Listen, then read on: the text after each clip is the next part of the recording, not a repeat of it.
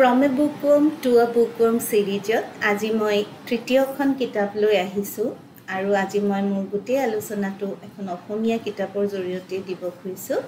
এইখন হ'ল অনুজ বৰুৱাৰ মহা অৰণ্য। আচলতে এই কিতাপখনৰ প্ৰাসংগিকতা এই মুহূৰ্তত মোৰ কাৰণে কিয় আহিলে বুলি যদি কোনোবাই সোধে তেতিয়াহ'লে ক'ম যে সাম্প্ৰতিক সময়ত অতিকে বিখ্যাত হৈ থকা বা অতিকে জনপ্ৰিয় হৈ থকা এখনি অসমীয়া বোলছবি হ'ল বিদুৰ ভাই।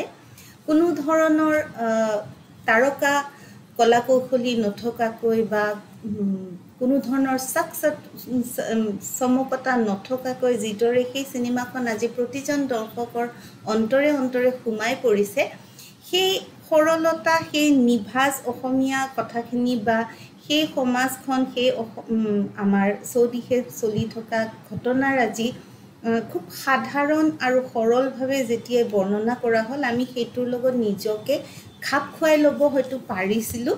সেইবাবেও চিনেমাখনৰ বিভিন্ন দিশৰ কথা গুণীজনে ব্যাখ্যা কৰিব বা বিভিন্ন দিশৰ কথা বেলেগ বেলেগ ধৰণে আলোচিত হ'ব বা ব্যাখ্যাও হ'ব। চিনেমাখনৰ কথা থাকক কিন্তু যদিহে সেই একেটা দৃষ্টিভংগীৰে এই কিতাপখন আমি চাওঁ তেতিয়া দেখা যায় যে ইমান সৰলভাৱে আৰু কিতাপখন যথেষ্ট আয়তনো ইয়াৰ যথেষ্ট বেছি। ইমান আয়তনৰ এই ডাঙৰ সংখ্যাৰ কিতাপখনে ইমান সৰলভাৱে হয়তো কোনো খুব বেছি এটা জটিলতা নানাকৈ আমাৰ আমি ভাল পাব পৰাকৈ মানে আগ কাহিনী এটা আগবঢ়াই ল'ব পাৰে আৰু নিব পাৰে আৰু তাৰ এটা ইমান ধুনীয়া এটা ধনাত্মক সমাপ্তি ঘটে যে বহু সময়ত বহু ধৰণে গুৰুপাকী ভোজন বা বিভিন্ন মানে ফাইভ ষ্টাৰ ৰেষ্টুৰেণ্টত ভালদৰে খাই অহাৰ পিছত যেনেকৈ কেতিয়াবা আমাৰ ঘৰত সাধাৰণ ভাত সাজো অমৃতৰ নিচিনা লাগে মই কিতাপখনক সাধাৰণ কোৱা নাই কিন্তু আমাৰ ৰুচি বা আমি বিচৰাটোৰ যদি মই জাষ্টিফাই কৰিবলৈ যাওঁ যে কোন সময়ত মনে কেনেকুৱা ধৰণৰ বস্তু বিচাৰে সেইটো যদি আমি কেতিয়াবা চাওঁ কেতিয়াবা কিছুমান আমাক এনে কিতাপে হঠাতে আকৰ্ষিত কৰে আৰু আকৰ্ষিত কৰি নহয় আমি এইটো লৈ ফুৰোঁ তেনে এখন কিতাপ মোৰ বাবে মহা অৰণ্য আচলতে মোৰ সমবয়সীয়া যিসকল ব্যক্তি আছে মোৰ লগৰখিনি যদি কওঁ যে আমি যেতিয়া পঢ়ি আছিলোঁ আমি প্ৰবেবলি আমি যেতিয়া মাষ্টাৰ্ছত আছিলোঁ সেইটো সময়তে এই কিতাপখনৰ এই উপন্যাসখন খণ্ড খণ্ডকৈ প্ৰান্তিক আলোচনীত প্ৰকাশ হৈছিল। খণ্ড খণ্ডকৈ প্ৰকাশ হোৱা সেই আলোচনীৰ সেই সেই সময়তো মোক সেইটোৱে অনুপ্ৰেৰণা বা এটা উত্তেজনা দিছিলে কিতাপখনৰ মানে উপন্যাসখনক লৈ। আৰু আজি অত বছৰৰ পিছত যেতিয়া কিতাপখন হঠাতে পাই পুৰণা বন্ধুক লগ পোৱাৰ দৰে মই কিনি আনিছিলোঁ তেতিয়াও দেখিলোঁ যে এই কিতাপখনে মোক সেই একেই আনন্দ দিছে আৰু মোক মানে আন এখন ভাল লগা উপন্যাস। ইয়াত আচলতে মই যিহেতু সমালোচক প্ৰকৃতাৰ্থত নহয় গতিকে মই ভাষা বৰ্ণনা কাহিনী বা কেনেদৰে আগবঢ়াই নিছে ইয়াত মানে তত্ত্ব কি আছে বা কিদৰে বিভিন্ন ধৰণৰ উপন্যাসৰ সমলসমূহ বা উপন্যাস কিদৰে লিখা হয় কেনেকৈ নিয়ে সেইবিলাকৰ বিষয়ে গুণগত হেৰিৰ বিষয়ে মই ক'ব নাজানিম।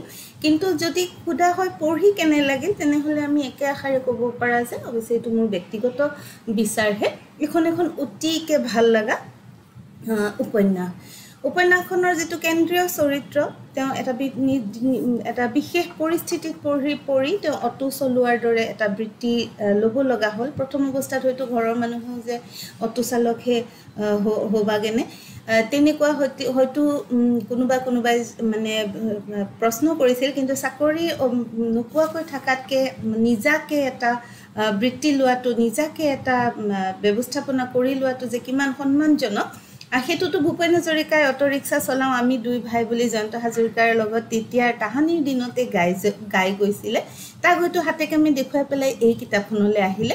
আৰু দেখা গ'ল অনুজ বৰুৱাৰ যিটো কেন্দ্ৰীয় চৰিত্ৰ সেই চৰিত্ৰৰ ব্যক্তিত্বই সেই অটো ষ্টেণ্ডত থকা আন আন অটো চালকক সিহঁতৰ সীমাবদ্ধতাৰ বিপৰীতে মানে কেনেদৰে ধনাত্মকতাক আগ আঁকোৱালি ল'বলৈ তেওঁলোকক সহায় কৰিলে সেই বিষয়ে ইমান সুন্দৰকৈ খুব বেছি বিস্তৃতও নহয় অথচ কাহিনী কৈ যোৱাৰ দৰে কৈ যোৱা হৈছে।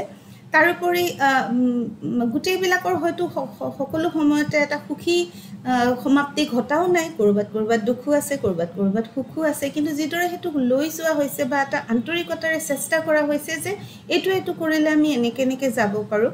আৰু ঘৰখনত পৰিয়ালখনত ডাঙৰ ভাই বা ককাইৰ যিটো দায়িত্ব থাকে সেই দায়িত্বসমূহে তেওঁলোকক দায়িত্ববান কৰি নিজৰ নিজৰ দায়িত্ব পালনৰ পিছতো যে ব্যক্তিৰ নিজস্ব কিছুমান ভাল লগা বেয়া লগা থাকে আৰু সেইটো কৰিবৰ কাৰণে তেওঁলোকে কেনেকৈ আগবাঢ়ি যাব আৰু সেই ভাল লগাটো পাবলৈ যে এজন সৰল বা নিৰিখ ব্যক্তিও কেতিয়াবা সাহসী আৰু মানে সাহ সাহ কৰিব পাৰে বা যুঁজিবলৈ এটা যে মনলৈ অনুপ্ৰেৰণা আহে সেই বিষয়েও ইয়াত কোৱা হৈছে।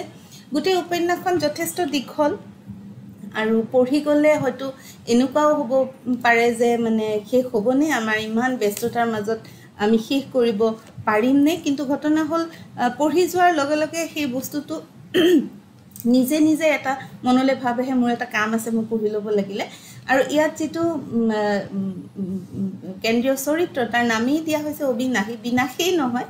আৰু মোৰ ব্যক্তিগতভাৱে ভাল লগা ঘটনাটো হ'ল যে যেতিয়া আমি সকলো চাই মেলি ঠিক ঠাক কৰি কাৰোবাক আমি জীৱনসংগী হিচাপে আঁকোৱালি ল'ব খোজোঁ সেইটোক একচুৱেলি মানে জীৱনসংগী বুলি আমাৰ যেনেকৈ বিবাহবিলাক সাধাৰণতে ঘৰৰ পৰা চোৱা বা নিজে প্ৰেম বিবাহ এনেকুৱা যদি দুটা হিচাপত ধৰোঁ তেতিয়াহ'লে প্ৰেম কৰিবলৈ যাওঁতেও যদি কোনোবা মানুহে সকলোখিনি চাই মিলি মিলাই কৰি লৈ পেলাই প্ৰেমত কৰে সেইটো এটা এক ধৰণৰ এৰেঞ্জডে হয়। সেইটো মানে এৰেঞ্জ মেৰেজেই হয় ব্যৱস্থাপনাই হয়। কিন্তু প্ৰেম বস্তুটো এনেকুৱা যি স্বতঃস্ফূৰ্ত আৰু যি হৈ যায় তাৰ যাৰ কোনো ব্যাখ্যা নাথাকে আৰু তেনেকুৱা অৱস্থাত যাক আমি ভাল পাওঁ তেওঁ যিয়ে নহওক অৱশ্যে তেওঁ যদি বেয়া মানুহ হয় তেওঁ যদি বেয়া কামটো কৰিয়েই থাকে সেইটো হয়তো খাপ নাখাব তেনেকুৱা ক্ষেত্ৰত। কিন্তু যদি কামটো বেয়া কিন্তু মানুহজন ভাল তেতিয়াহ'লে সেই বেয়া কামৰ পৰা ভাললৈ লৈ আহি কাৰোবাক ধনাত্মকভাৱে উজ্জীৱিত কৰি আৰু তেনে ক্ষেত্ৰত হাতখন এৰি নিদিয়াটোৱে যিটো মানে এটা পজিটিভিটি কঢ়িয়াই আনে এই কিতাপখনত সেইটোও আছে।